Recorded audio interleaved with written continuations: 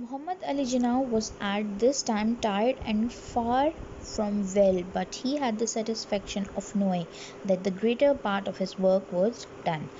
मोहम्मद अली जिन्ना जो थे वो इस वक्त बहुत थक चुके थे इस वक्त तक बहुत थक चुके थे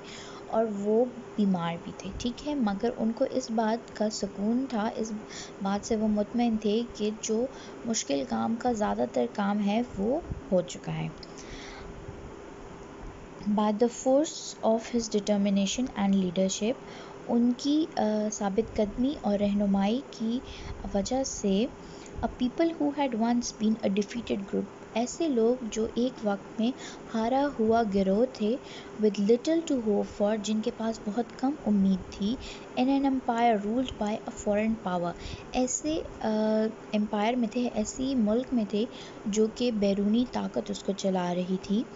had become the greatest of the Muslim states. वो सबसे बड़ी अजीम मुस्लिम सल्तनत बन गई थी and the fifth largest nation in the world और दुनिया का पांचवा बड़ा नेशन बन चुका था seventy million people who had once no country to call their own had become a nation with great ideals and a great faith ऐसे मतलब सत्तर लाख लोगों की सत्तर लाख लोग जिनके पास कोई भी मुल्क नहीं था, जिसको वो अपना कह सकें, वो अचानक से एक कौम बन चुके थे, ठीक है? जिनके पास ग्रेट आइडियल्स थे, अजीम रहनुमा थे आइडियल्स जिनको वो फॉलो कर सकें, ठीक है? और ग्रेट फेथ था, जिनके पास एक ज़बरदस्त अच्छा सा ईमान था, यकीन था, और वो क्या था?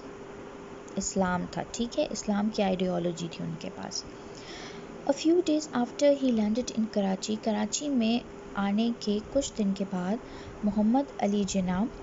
told his people उन्होंने अपने लोगों को बताया you are free to go to your temples आप लोग आज़ाद हैं अपने मंदिरों में जाने के लिए. You are free to go to your mosques आप अपनी मस्जिदों में जाने के लिए आज़ाद हैं. और to any other place of worship in this state of Pakistan या कोई भी ऐसी इबादत गाह जो इस मुल्क में मौजूद है, आप वहाँ जा सकते हैं। You may belong to any religion or caste आप बेशक जिस मज़हब या जिस ज़ात से भी ताल्लुक़ रखते हों we are all citizens of one state हम सब एक मुल्क के शहरी हैं। He was of course reminding them of the prophet sallallahu alaihi wasallam teaching that all men are equal in the eyes of allah. और वो बेशक उन हम लोगों को हज़रत मोहम्मद सल्लल्लाहु अलैहि वसल्लम की एक बात याद करवा रहे थे कि उन्होंने कहा था कि अल्लाह की नज़र में तमाम लोग बराबर हैं।